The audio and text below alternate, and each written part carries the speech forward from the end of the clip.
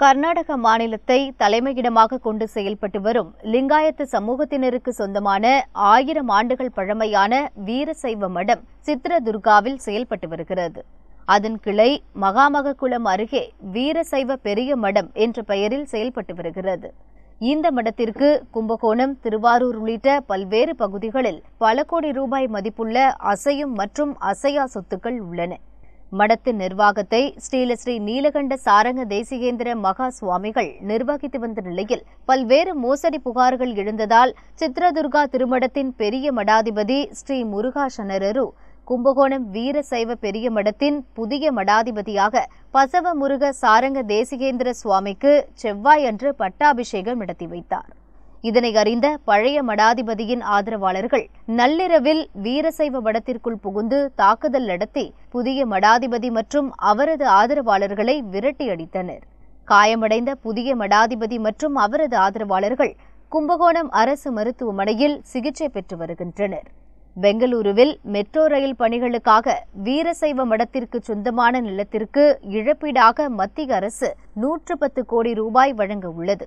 இதில் முப்பது கோடி ரூபாய் தந்தால் மடத்திலிருந்து விலகிக் கொள்வதாக சித்ரதுர்கா திருமடத்தின் பெரிய மடாதிபதி ஸ்ரீ முருக சனரரு மற்றும் வீரசைவ பெரிய மடத்தின் புதிய மடாதிபதி பசவமுருக சாரங்க தேசிகேந்திர சுவாமி ஆகியோர் தெரிவித்துள்ளனர்.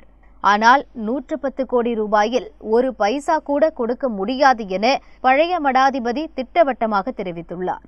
புதிய மடாதிபதிக்கான பட்டாபிஷேகத்தை நான் தான் நடத்தி வைக்க வேண்டும் என்றும் வேறு யாருக்கும் அந்த உரிமை இல்லை எனவும் பழைய மடாதிபதி நீலகண்ட சாரங்க தேசிகேந்திர மகா சுவாமிகள் கூறினார்.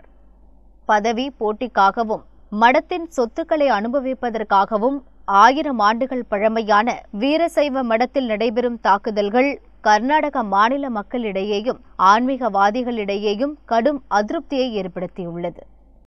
தமிழ்நாடு மற்றும் கர்நாடகாவில் உள்ள இந்த மடத்திற்கு பாத்தியப்பட்ட சொத்துக்களை பந்தக பாதாரம் செய்தும் பல பல கோடி மதிப்புள்ள சொத்துக்களை விற்றும் முறைகேடு செய்த காரணத்தினால் அவர்கள் நீக்கப்பட்டு சித்திரதுர்கா முருத்தன் மடத்தின் மூலமாக புதிய மடாதிபதிகள் நியமிக்கப்பட்டுள்ளார்கள். நூற்றி இருபது கோடி இருக்கும். அந்த நூறு நூற்றி இருபது கோடி ஒரு அறுபது கோடி நாங்கள் கொடுத்துட்டு எங்களுக்கு நீங்கள் விஷயத்துக்கு நான் வரமாட்டேன் இது பண்ணிட்டோம். ஜெயபிரகாஷ் லாயர் வெங்கடேஷ் மகாலிங்கம் அந்த முதலைகார் எல்லாரும் சேர்ந்துட்டோம். நாங்கள் தொல்லை கொடுத்துட்டு ஒரு மாசத்தின் அந்த பணத்துக்காக இவரெல்லாம் பண்ணிட்டு வரத்தாக்கி எதுவும் பண்ணலாம். பணம் வேணும் பணம் வேணும் பணம் வேணும். இது போல மேலும் பல செய்திகளோட அப்டேட்ஸுக்கு தினமலர் யூடியூப் சேனலை சப்ஸ்கிரைப் பண்ணுங்க. பக்கத்துல ஒரு பெல் பட்டன் இருக்கும். அதையும் கிளிங் அப்படின்னு ப்ரெஸ் பண்ணிட்டு ஃபேஸ்புக் ட்விட்டர் இன்ஸ்டாகிராம் போன்ற சமூக வலைதளங்களையும் எங்களை ஃபாலோ பண்ணுங்க.